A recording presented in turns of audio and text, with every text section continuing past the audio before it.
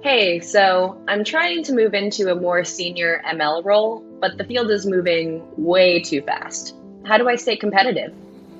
Uh, that's a very good question that comes up uh, quite a bit when I talk to people. Uh, either they want to move into senior roles like yourself, uh, or they're thinking about starting their own venture.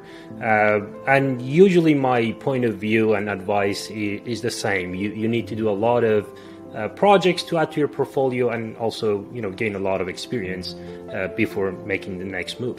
When i was a data scientist i was trying to solve this problem for myself.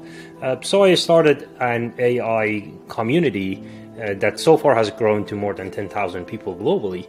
Uh, along the way we started aggregate intellect a platform that connects people to exchange expertise as well as collaborate with each other so, your recommendation is to do these projects and then you run these challenges in monthly cohorts that everyone can join for free. What's the catch? Uh, there is no catch. Uh, all you need to do is to tell us what you want to build, how you might build it, and who you might build it with. Uh, you can bring your own friends, uh, or you can meet people through our platform and team up with them. Cool, cool.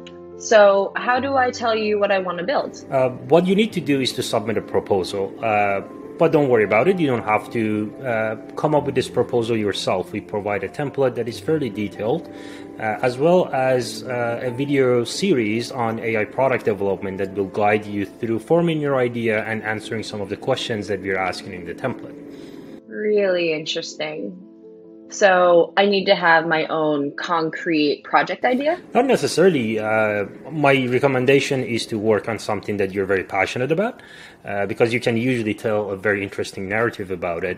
Uh, but you could also meet people on our platform and team up with them uh, and you know brainstorm about what idea you want to work on.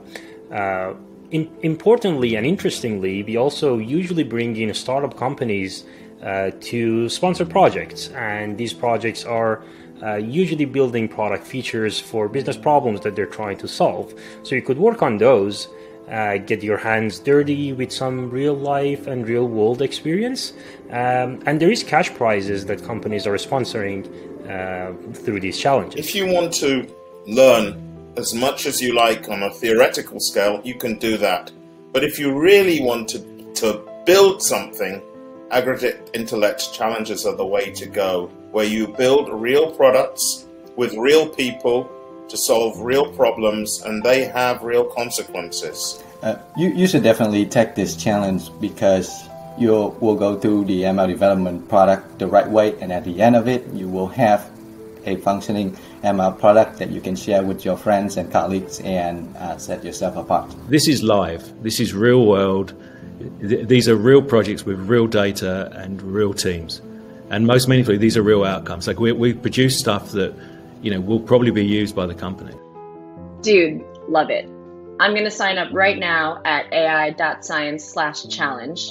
And you, you out there, join me for the next cohort. What are you waiting for?